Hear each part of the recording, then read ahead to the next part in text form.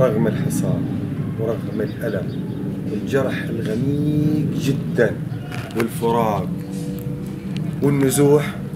والله والله. فدى القدس فدى المقاومة وباقون حتى يوم القيامة. أول ما بدأت حياتي بدأتها على باب المسجد العمري الباب الشرقي. فكنت يعني على قد طاولة وكرسي أخلص عجين يجي الناس بكى منقوشة الزعتر حبوا الطعم حبوا الشكل. إيه، بما إنها منقوشة أثرية إيه، والطابع أثري ف وبجوار المسجد العمري اللي هو معلم من معالم فلسطين صارت تيجي الناس تاكل زعتر تنبسط على الريحة. إجت مرة مرتين ثلاثة زادت الطاولات.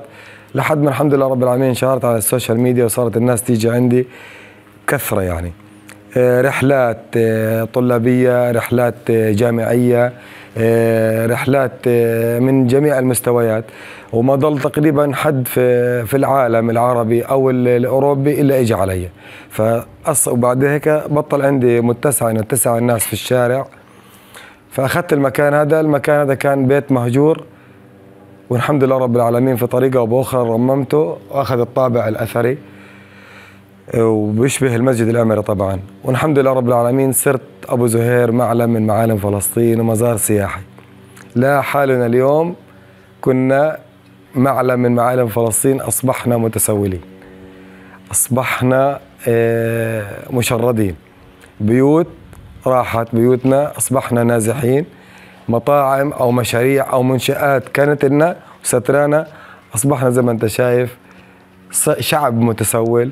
دمار يعني خراب انتقام. آلة آلة قتل أو آلة حرب شغالة على مدار الساعة قتل مع دمار ولا واحد في المية. إنه هذا كان يعني أنا توقعت إنه ما يمرقوش حتى عنه.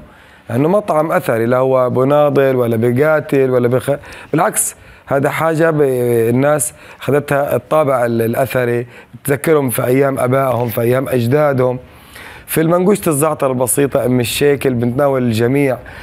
فما كنتش أتوقع نهائيا إنه يصير في هيك لأنه اليوم أنا كثير كثير الناس شافتنا أنا بعدت عن ال social media فترة الست شهور لأنه ما بطل عندي محتوى إني أطلع أحكي عليه.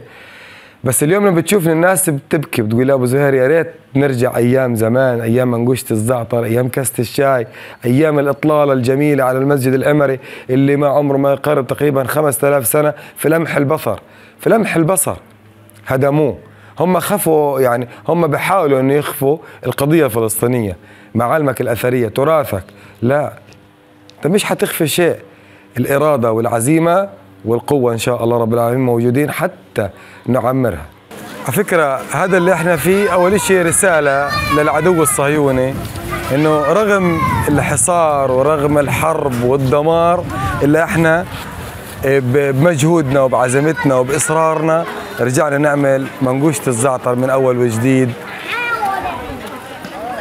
وإن شاء الله حتى النهاية صامدون ومرابطون إن شاء الله رب العالمين. إحنا شعب فلسطيني لا يستسلم. إحنا أصحاب حق وأصحاب قضية اللي هي القضية الفلسطينية.